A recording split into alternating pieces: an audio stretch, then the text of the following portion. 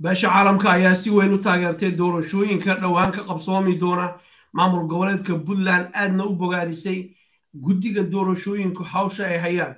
Waxayna intaa ku dareen inay leeyihiin waxa ay tusaale u tahay soomaaliya oo dhan in puntland dimuqraadiyad ay ka hirgasho qof iyo cod ah oo waxa loogu yeero direct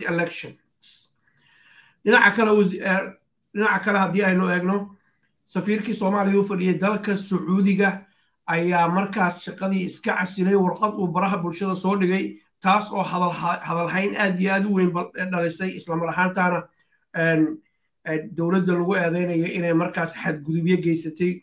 Waa sida hadalka loo dhigaya dhinaca kale waxaanu eegi doonaa garaadyada s s c oo la sheegaya inay ku wajahan yihiin caasimadda qaranka soomaaliya muqdisho halkaas oo madaxweynuhu gogol uu dhigay lagu wada hadli doono. Qodobadaas ayaanu ku eegi doonaa barnaamijkeenna daaha dabadiisa waxaa dhinaca kale qadka kaga jira weriye cali xaraare oo aan jeclahay inaan aad iyo aad u soo dhoweeyo waxaana jeclahay inaan sidoo kale cali uu ku bilaabo arrinta safiirka oo cali aad ula socdo iyo inuu iscasilo waxa keena. Cali soo dhowow aad iyo aad baad mahadsan tahay cabdixafiid.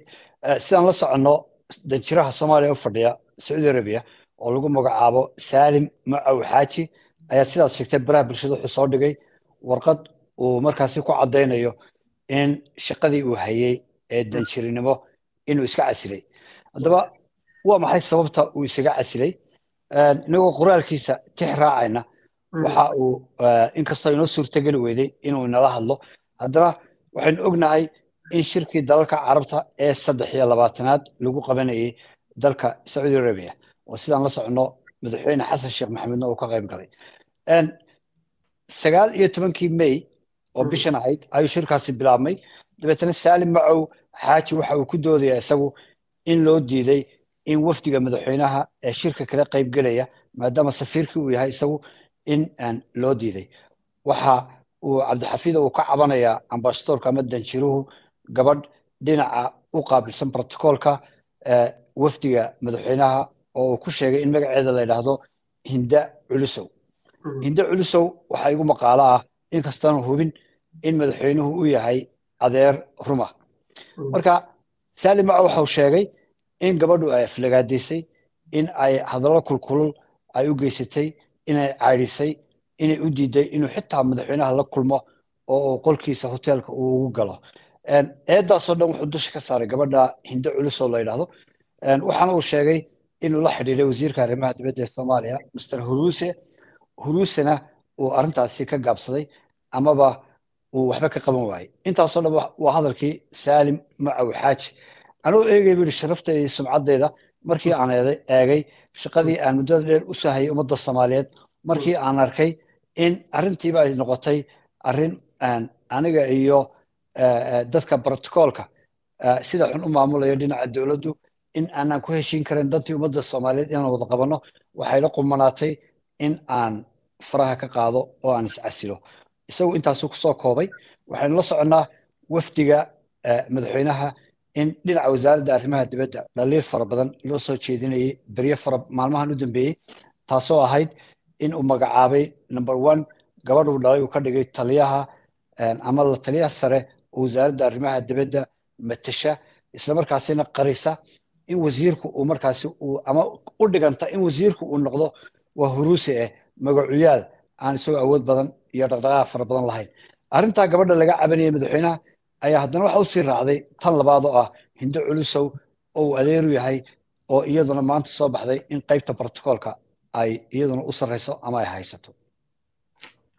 Aliyow haddii aynu eegno waa saad sheegtay oo wasiir huruuse waxaa leeyahay booskiisii sidii la rabay hawsha uma qabsanayo dadka qaarna siyaabo kale u macnaynayaan oo laxan qabyaaladeed la saaraya markaa mararka qaarkood markaad eegtid. Laakiin waxaanu arkaynay shirkan madaxweynuhu uu fadhiyey inuu wasiirka arrimaha dibadduna uu fadhiyey oo kaalintiisa ka qaadanaya inkastoo la sheegay inuu xallin waayey khilaafka inantan iyo safiirka soo dhex galay.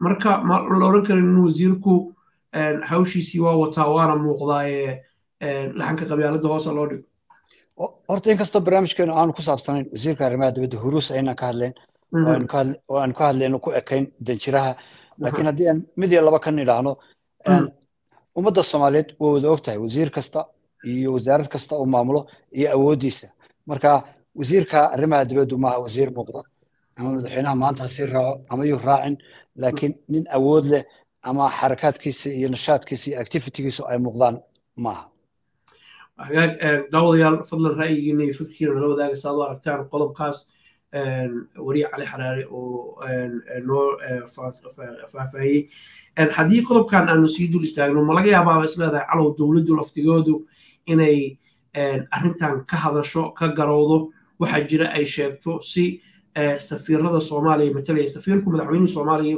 matalaya qarankii soomaaliya matalaya aysan arrimahan oo kale u dhicinin unuusan noqnoqonin.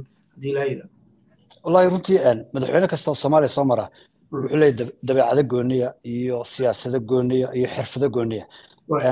Markaan u eego xirfadda gaarka ah ee madaxweyne xasan sheekh maxamuud ilama aha nin diyaar u ah inuu qanciyo safiir iyo danjire iyo qunsul. Kuwii ka waaweynaa ayaanu diyaar u ahayn inuu qanciyo ama mis la fadhiisto ama wadahadal la galo. Marka madaxweynaha markaan eegay waa madaxweyne jecel in dadka la shaqaynaya ama safiir ha noqdaan ama wasiir ha noqdaane dad isaga daacad u ah inay noqdaan.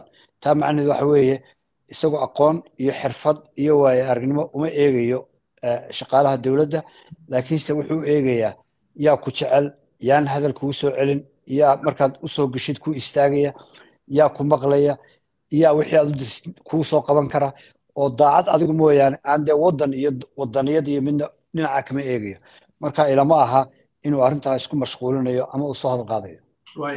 Daawadayaal waxaad daawanaysaan daaha dabadiisa waa qodobkii koowaad weeyaan. Ra'yigiina nala wadaaga qodobka labaad asiga laftigiisu xiisaha le waxa uu yahay maanta oo labayo labaatan taariikhdu ay tahay bisha may labada kun saddex iyo labaatanka ayaa war saxaafadeed wada jira ayaa waxa soo saaray beesha caalamka oo ay oga hadlayso doorashada dhowaan maalinta khamiista shan labaatanka bisha ka qabsoomi doonto maamul goboleedka puntland ee golaha deegaanka doorashadaas ayay aad iyo aad u soo dhoweeyeen waxayna ammaan iyo bogaadin u soo jeedsheen tbek oo ah ururka iraade guddiga doorashooyinka maamul goboleedka puntland.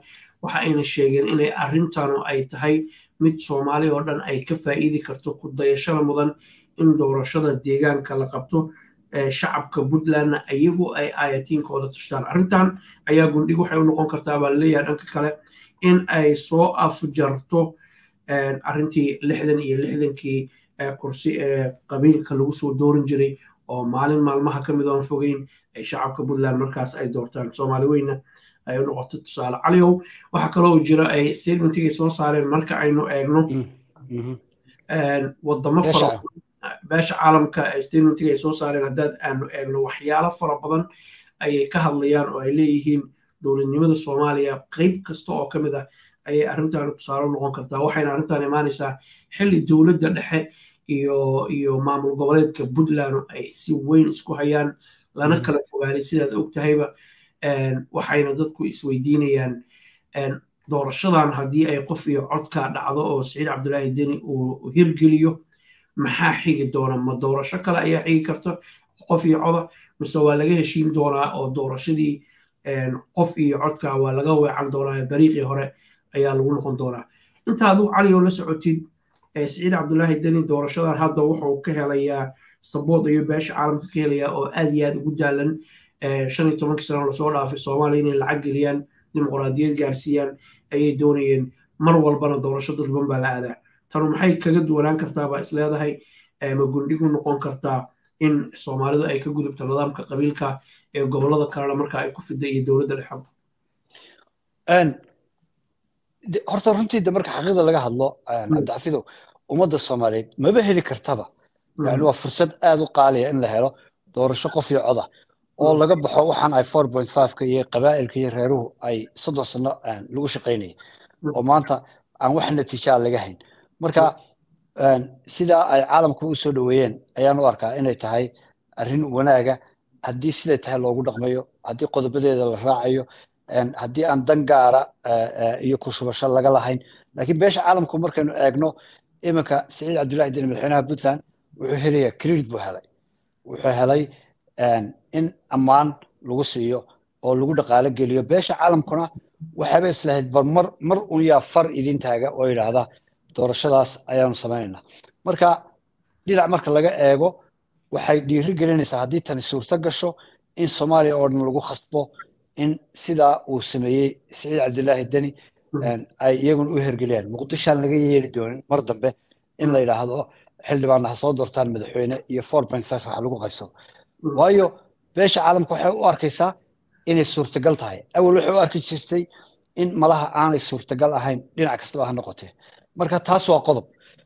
Dhinac kale marka laga eegana ninka madaxweyne saciid cabdilaahi deni oo maanta dadaalka ugu jira doorasho qof iyo coda beesha caalamkuna ay taageertay waa ninkii shalay diidanaa markii dhuusamareeb lasugu tegayey ee lalahaa qof iyo cod soomaali weyn oo dhani.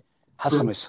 Marka waxaa laga yaabaa in sidan ay ugu badiso qodob kaloo imika soo baxay baa jira cabdixafiid oo intaynu hadlayna baa laga yaabaa. In heshiis laga gaadhay qolyahan isku sheegaya mucaaradka puntland iyo dowladda puntland. Oo ahayd mucaaradkii maalintii dhibad airportkana khaahuul ka riday. Laba qof lagu dilay dhowrna ay ku dhaawacmeen. Shalayna qoraal kale soo saaray oo yidhi madaxweynuhu ma ogola in miis la wada fadhiisto. Waxaan doonaynaa haddii miis la wada fadhiisan waayo inaanu dagaalano. Saasay soo saareen doraad laakiin maanta kii ka duwan bay soo saareen. Waxaa labada dhinac isla ogolaadeen cabdixafiid oo sida iminka ay soo saareen mucaaradku in laga tanaasulo in doorashadii la qabto oo loo dareero taa way way ogolaadeen. Waxay ku lifaaqeen in iyagana laga daayo waarankii loo jaray ahaa in rag afara la soo qaqabto oo maxkamad la soo taago. In iyadana taa dembiga laga dhaafo. Waa garta cali aad iyo aad umahadsantahay dhanka haddaanu eegno isimada s c ayaa la leeyahay muqdisho ayay ku wajahan yihiin madaxweyne xasan sheekh maxamuud ayaa gogasha dhigay markii koowaad ma ahan inkastoo aysan horey u dhicin in la wada kulmo. Ma laga yaabaa kulanka inuu dhaco muxuuse daaran yahay waan isoran karnaa xalo horta waa markii labaad baan maranaya oo lagu baaqo muqdisho. In haddii ilahay ku ron yahay laysugu yimaado. Laakiin intaan muqdisho aanay tegin muqdisho maxaa lala tegayaa? Yaa la hortegayaa dhexdhexaadintu maxay noqonaysaa? Maxaa laga wada hadlaya? Qodobadaasoo dhan baa u baahan in la faaqido oo laga hadlo garaadada markaan qiimeeyey oon eegay uma arkaan muqdisho ama muqdisho lafteeda waxay u arkayaan weli in daaha dabadiisa ay ku jirto waxa laga wada hadlayo iyo cidda laga wada hadlayo. Ma jirto kalsooni ballaaran oo iyadana muujinaysa in garaadadu ay kalsooni ku qabaan dowladda federaalka ah oo laga yaaba inay tuhunsan yihiin inay wakiil ka tahay dhinaca somaliland ujeeddada garaadadani marka hadalladooda aynu dib ugu noqonno waxa weeye si fudud waxaan ogolahay wada hadal laakiin ciidanka hanala ka dulqaado. Ciidankana hala geeyo meesha la yidhaahdo oog oo ah meel madaafiicda iyo dhibaatadu aanay ka soo gaari karin laascaanood intaa marka ciidamadu halkaa tagaan ayaynu dabeetana isu iman karnaa waxaynu doonaan ku wada hadal leh. Mowqifkooda hore sidaasuu ahaa. Laakiin kan imika hubo in ay diyaar u yihiin muqdisho inay tagaan barhkood iyo in barhkood ay ka soo horjeedaan weli ma cadda tani intii dagaalka laascaanood bilowday bilowgii bishii labaad marnaba maanan arkinin garaadyada oo ama iskhilaaftan ama iska soo horjeeda waxaa moodaa dantooda inay ku midaysan yihiin markaad ayaga la hadashid gaar ahaan iyo markay bulshada la hadlayaanba. Arrintaanu inay isaga sii dhowaadaan mowqifkoodii gooni istaagoodii soomaali kubiirkoodii iyo in ciidamada oog la geeyo maxay ka tari kartaa oo barayshar ooga imaan kara dhinaca dowladda dhexe beeshii caalamkoo degan muqdisho laftigeeda horta umalayn maayo in dowladda dhexe ay odhan kartaba ciidanka somaliland dib ha u gurtaan oo wadahadalka sidaa lagu soo wada fadhiisto ma aaminsan intaa waxay wadaa dowladda soomaaliya marka la eego ridu gar leh riyuhuna gar leh marka ama madax salaax ay labada dhinac bay leeyihiin labadiinuba idinkuna taasaa ku khaldantiin idinkuna taasaa ku khaldantiin laakiin xal waara lagama gaari karayo tan garaadadaa tidhi way midaysan yihiin oo hal mowqif bay leeyihiin. Maaha garaadada garaadada qura maaha ee waxa weeye beeshaasoo dhan ama haddii aanu afka ku dhufanno beesha dhulbaxante iyo fiqishini oo degaankaa degan hal mowqif ayay leeyihiin. Saddexdii bilood ee dagaalku ku socdayba. Mowqifkaasna waxa weeye inaanay iska bedelin mowqifka ay maanta taagan yihiin oo ah in ciidamada somaliland laga guro dhulka ama areada aynu sheegnay mowqifyada garaadaduna xataa shacabku mowqif aanay raalli ka ahayn ama go'aano aanay raalli ka ahayn hadday soo saaraan garaadadu shacabku uma muuqato inay yeelayaan. Marka arrintu meel adag bay ka taagan tahay dhinacan reer sool. Hagaag daawadayaal barnaamijkeenu toddobaadkan intaas ayuu ku dhan yahay. Waxaan u mahad cali xaraare oo qeyb weyn barnaamijkan ka ah iyo dhammaan daawadayaasha somali american t v iyo brit somali t v. Ra'yigiina fikirkiina la wadaaga nabadgelyo